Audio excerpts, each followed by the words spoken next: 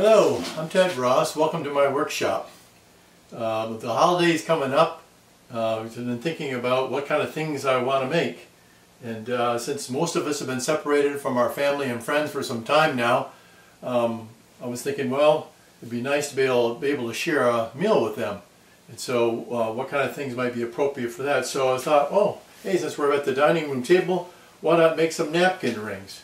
So um, I thought, well, it can serve two purposes. One, uh, not only to hold the napkins at the dinner table, but also as a conversation piece instead of a lot of more controversial subjects like politics, for an example. Um, so anyway, uh, today I thought I'd share with you uh, my process, design, tools and method of doing that, and uh, hopefully uh, this will interest you as well. And um, maybe help you accomplish making a few for your family and friends. So anyways, let's go ahead and get started and we'll, we'll make some of these napkin rings. So first we'll mount this between centers on here and I just use this step chuck. I like the, this for, for the smaller pieces like this and um, a regular um, live center.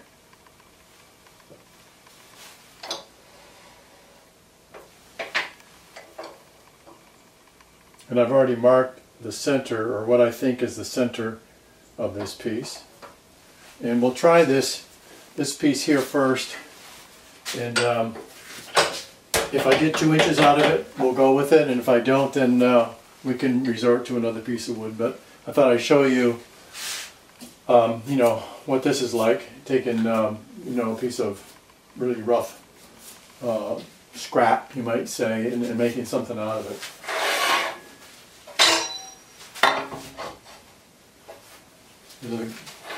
Quite a few different ways that you can round out material like this.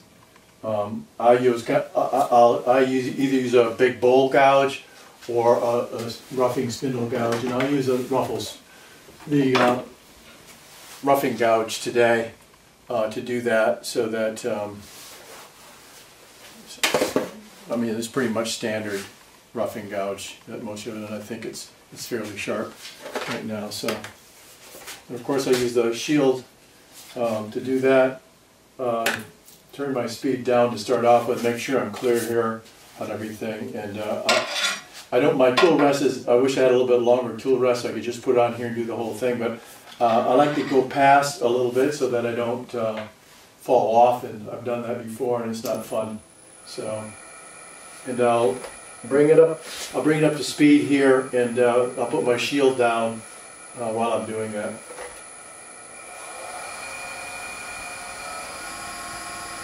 About about about a thousand right now.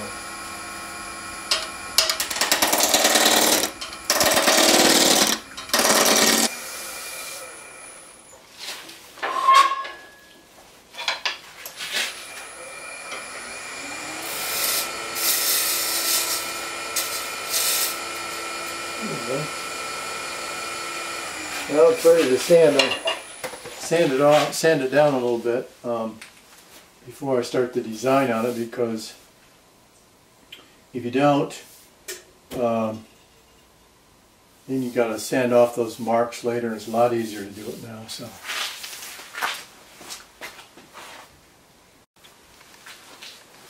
Decided I'm going to go ahead and mount this in the chuck first because um, sometimes going from turning between centers to the chuck it's not completely true and I like it to be as true as possible. So I'm going to put it in the chuck and then uh, make sure it's screwed up and then I'll um, go ahead and, and sand it down.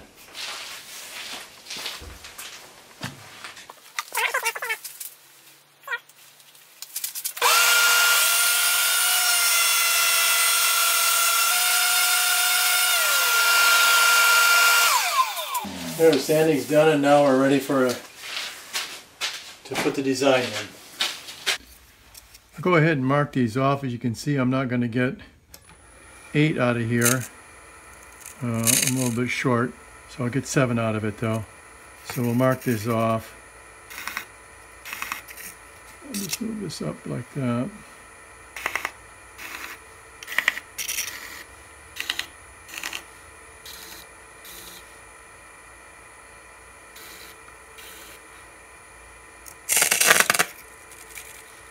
Last one's a little bit tough. Tougher. So I got one, two, three, four, five, six, seven of them. So that's good.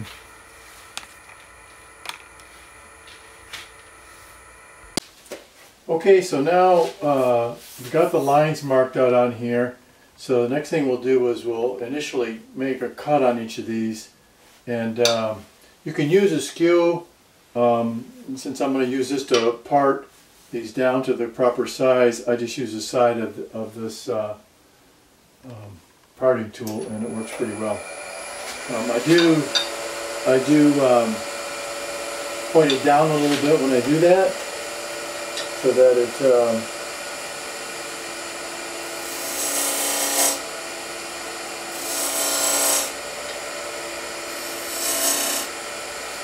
so that it uh, doesn't tear the, the grain out.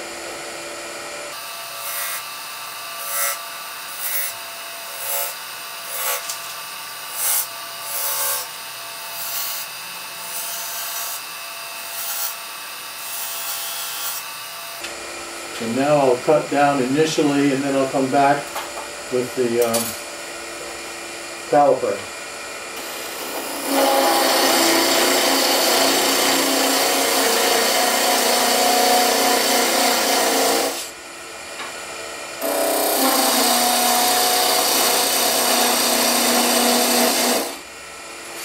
See how close I am. Oh, really close.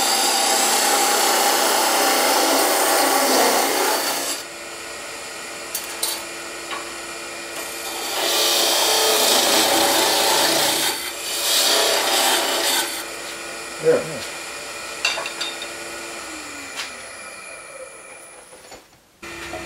Now I'm going to mark off quarter inch segments on here and most of these. And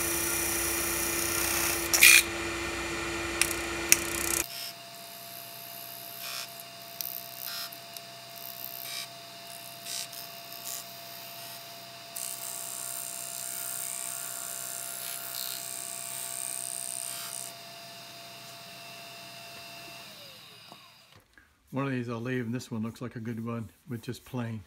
I won't do anything more to that. That one is, is pretty much done. And so the rest of these, then I'll do different designs on it, and I just have to decide what I want to do for design on each one.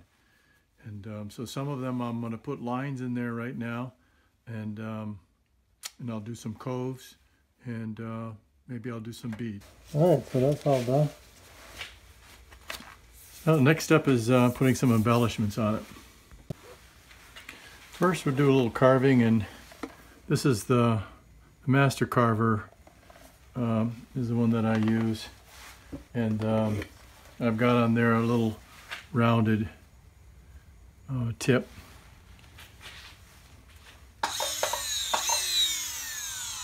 And I'm just going to carve this one up in these. Uh, I'll show you a little pattern here. Okay,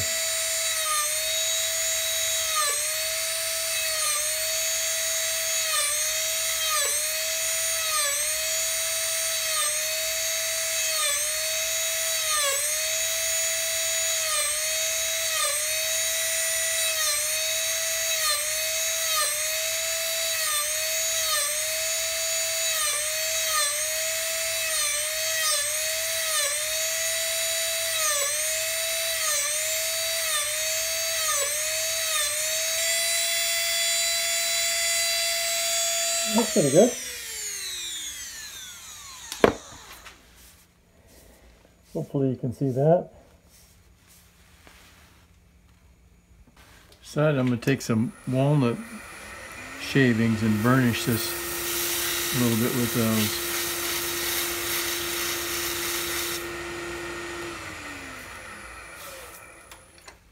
Yeah, like that. It darkened up the spots, and then when I put the finish on there, it'll, it'll seal. I'll, I won't blow that out with an air hose on there. I'll just put the finish right on it. Gets a little bit of depth, shadows to it. Okay, next I'm going to do is burn these. Thought I'd just show you, uh, I, I did some embellishing on here and how I did that. So I have a, a, uh razor tip um, burner that I use. And um, this this is here. I have a it's a fairly sharp point the tool thin very thin blade on that. And then I just taken put these little slices down through here like this. I've already done this so I'm just mimicking it now um, like that all the way around and then reverse the other side to do the same thing. And then this one here uh, this design here is just a, a tip that I just bent over on it and has a, a round loop on it. So it's bent over there like that. It's just a round loop. And it just to turn the heat up a little bit more on this one, it's probably around eight on this one. And um, just set it down on each one of those, just decide the spacing that you want. And uh, go around there again on both sides of that. And then I'm going to burn these two lines here and I'm going to burn these two lines here as I weld these other ones on there as well. And uh, that'll make that stand out quite a bit. So just thought I'd share that with you. So I'm going to burn these rings now. and uh, I just use a piece of picture frame cable. Seems to work best. I've, I've purchased some wires before for doing this and I don't find them to work nearly as well as this picture frame. And I just wrapped it around a little block of wood to hold it on one end and then I just grip it with my hand with the other. And the speed's fairly quick. I'm at uh, a couple thousand RPM and you can go faster than that, but this, this works fine, good enough. Just hold it in there till you get the burn that you're looking for. Goes fairly quick, especially once the wire gets warmed up. It goes pretty fast. You'll see how this stands out a little bit more.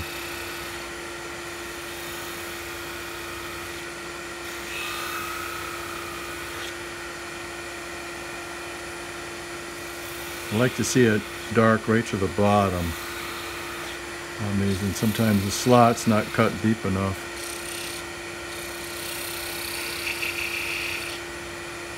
Yeah, that's pretty good.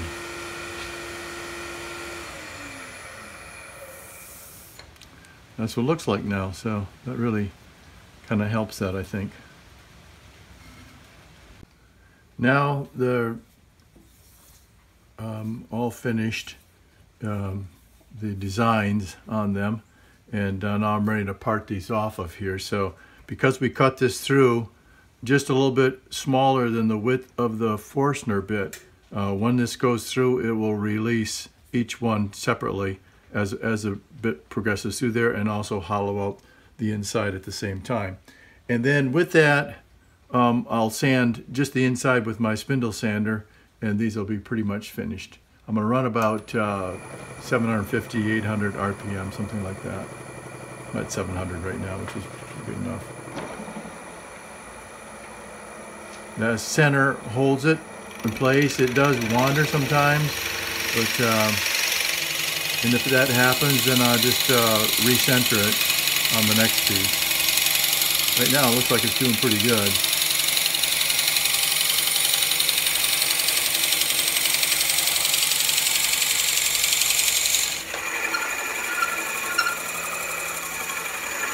Let it cool a little bit.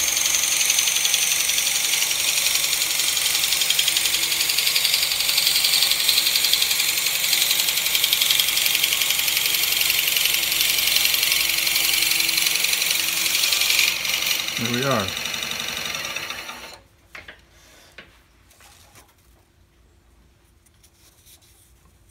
This bit leaves, uh, I got another bit, but uh, this one centers a little bit better, but it does um, burnish a little bit more on the inside, but the spindle sander will take that right out. And end up with some nice shavings uh, in the end.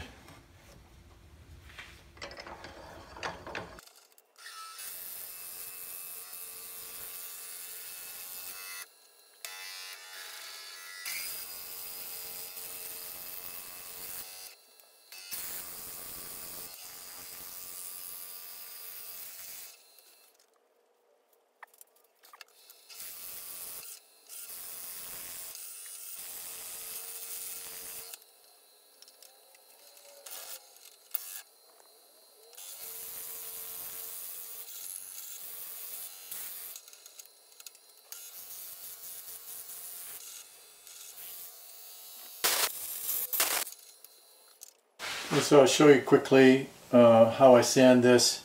I'll just do uh, one of them and then uh, I'll do the rest of them and come back again. So um, I use this to sand the sides of them. I took the back up off of it so that it's flexible and um, conforms a little bit more and then I use the spindle sander down here to do the inside of it. So.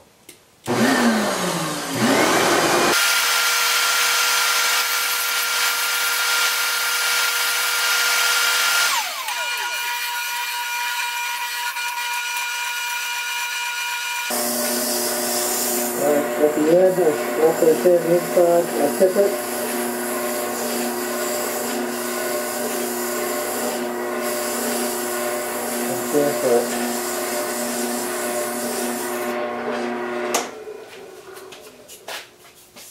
That's pretty much it. So we've uh, finished them all off now. They're all sanded and everything. They came out pretty nice. Uh, this one's got a small crack in it, which I'll, I'll just put some uh, CA on it after I, I, I put a, the finish sealer on it. But uh, yeah, they came out pretty nice. And uh, how I put the finish on is the last thing. So uh, again, I use a tung oil, a third tung oil, a third polyurethane, and a third mineral spirits. And I use that for most everything that I do. You could use like walnut oil or something like that on here as well if you wanted to. But um, the way I do it is I just dump in about, you know, that much into the cup, you know, quarter to half of an inch. And then, um, oh, gloves on. I uh, just dip this in there like that so it gets saturated pretty well. Like that. Good coating on it. And then I put it in a plastic bag. And I'm going to leave them in there for about 20 to 30 minutes. Not, not much longer than that. The reason I put it in a plastic bag is that it slows down the evaporation of it, the curing process, um, and allows it to soak into the wood. Know, so it's got a good strong coat on there and has time to soak in there. And then um, I take them back out and with a paper towel I wipe them off clean so there's nothing left on it and, uh, and, uh, and then it cures you know overnight basically and and you're all set. And I just put one coat on these that's you know saturated like this that's enough to do it. You can put more if you want shiny.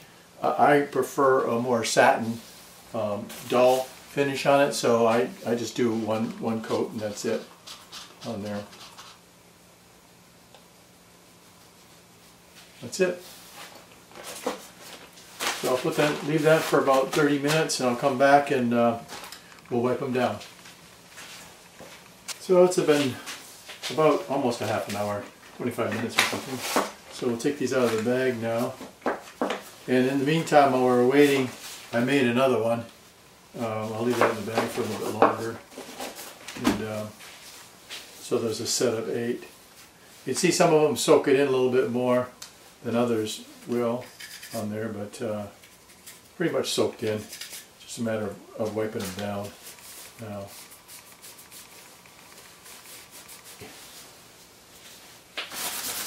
There. Here's the finished product. I'll give you a close-up of them so you can see a little more detail.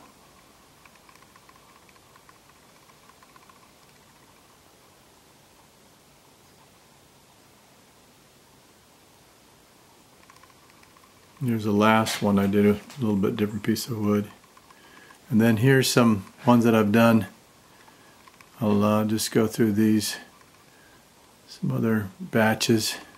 These have a little more embellishment to them.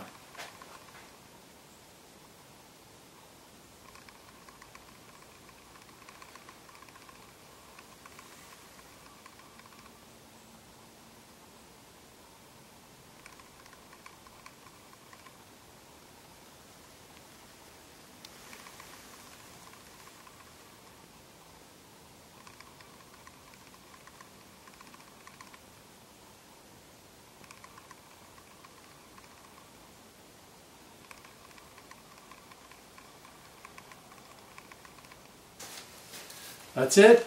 And uh, hope you enjoyed this. Um, If you like it, please give me a thumbs up. Subscribe. I'll have other little videos. I'm going to do some with tea candle holders that nice simple projects to do. Again, out of different scraps of wood. Um, so please join me for that. I'll have that up in the next few weeks probably as well uh, to do that. So have a great day and happy turning.